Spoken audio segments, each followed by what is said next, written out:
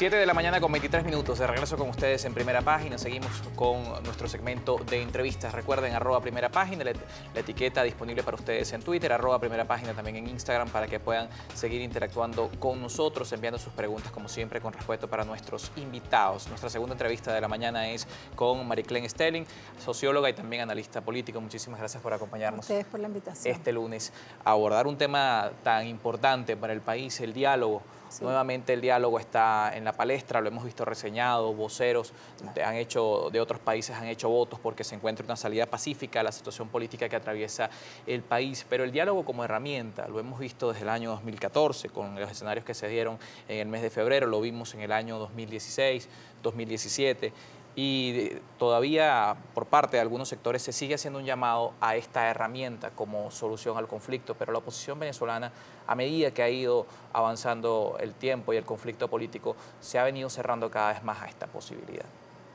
Claro, bueno, para hablar de diálogo tenemos que hablar de actores políticos, pero también tenemos que hacer una aclaratoria que el conflicto venezolano se ha transnacionalizado, está que es una diferencia de estos procesos previos. Está fuera de las fronteras venezolanas, donde hay actores geopolíticos importantes que están incidiendo eh, internamente y en las decisiones de los factores políticos nacionales. ¿no? O sea que hay una incidencia desde fuera, hay factores políticos, eh, geopolíticos que desean que, que dialoguemos, hay otros que más bien están promoviendo una invasión.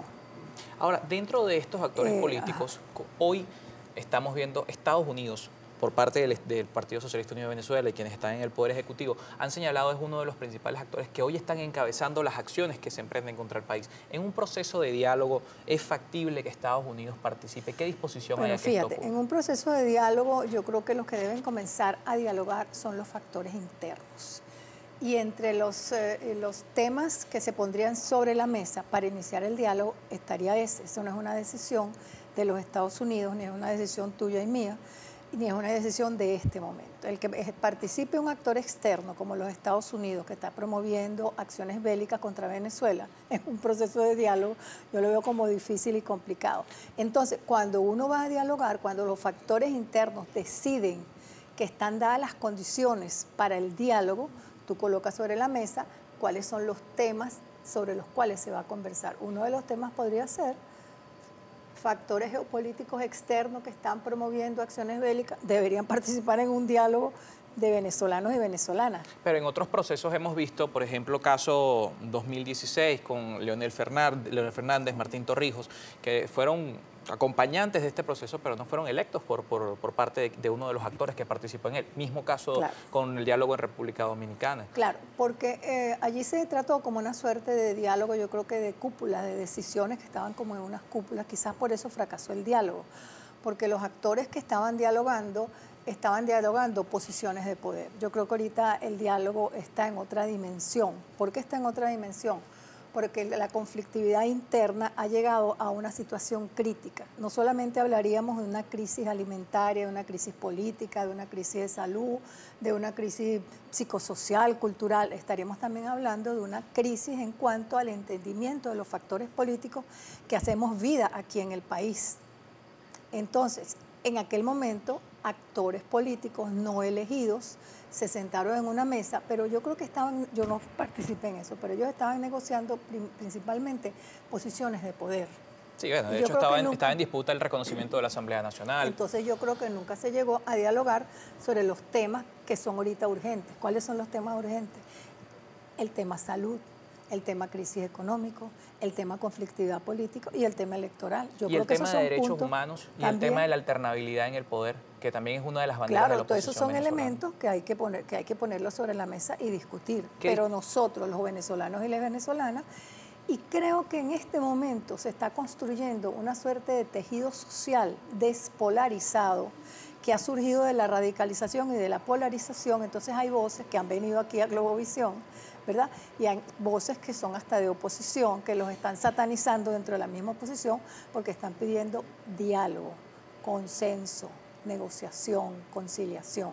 Entonces, este esta es la lectura que yo le estoy dando a este momento, ese nuevo tejido social despolarizado que surge de los polos radicales, radicalizados y polos violentos, que no quieren conversar con el otro, ¿verdad? Y ese nuevo tejido yo creo que se, se está lentamente configurando y de allí es que va a emerger, en mi opinión, el diálogo en Venezuela y los temas sobre el tapete para dialogar. Es representativo este tejido que se está formando porque lo que vemos en las encuestas, caso de Análisis, caso de Atincorp, es un rechazo de por lo menos el 80% contra quien está en el poder. Yo no estoy hablando que son personeros del poder. Yo estoy hablando... Claro, pero digo, digo que en, el caso de, una negociación política que no lleve a lo que la oposición venezolana hoy está pidiendo desde la cúpula que está encabezando estas iniciativas, que es cualquier diálogo que lleve a un cambio de gobierno están sumados, pero a, otra solución no. Claro, pero tú te estás anteponiendo a lo que yo te estoy explicando. Yo te estoy hablando, se está consolidando un nuevo tejido social despolarizado que viene de los polos radicalizados ese nuevo tejido social se está configurando, se están discutiendo en diferentes espacios. Ustedes han traído gente representativa de ese nuevo tejido social, que yo considero que es un nuevo tejido social. Y luego entonces se dirá sobre cuáles temas vamos a discutir, porque así es que se hace un proceso de diálogo. ¿Pero qué pasa Nadie este te impone sobre qué vas a discutir. En la mesa del diálogo tú dices, bueno, ¿cuáles son los temas más urgentes? tanto para la oposición como para el gobierno, porque lo que tenemos que dejar un poco de lado para dialogar es que yo soy de oposición y te odio a ti que soy chavista, yo soy chavista y te odio a ti que soy oposición. El país está viviendo un momento crítico y eso es necesarísimo y están surgiendo voces que están llamando a diálogo, voces con posiciones de poder, voces de los espacios de la oposición que están reencontrándose por la situación crítica del país. En Pero ¿y qué pasa con esas voces que, si bien estamos en ese proceso de un nuevo tejido que ha surgido de esos extremos, con esas voces extremas que aún están en estas posiciones, eh, pudiéramos decir radicales, que están llamando al artículo 187 numeral 11, que están en este, qué pasan y qué, qué, papel juegan en un proceso de negociación, que son además representativos, caso de, de los principales partidos políticos Probablemente del país. podrían participar en esa mesa de diálogo, pero habrían otras voces que no están en los polos radicalizados. Lo que, lo que un, un proceso de diálogo en este momento no lo podemos montar jamás con las voces radicales. No podemos, porque nunca nos vamos a entender. Entonces allí habrían un, espacio multivariable con ese nuevo tejido social que convocaría a su vez otras voces más radicales.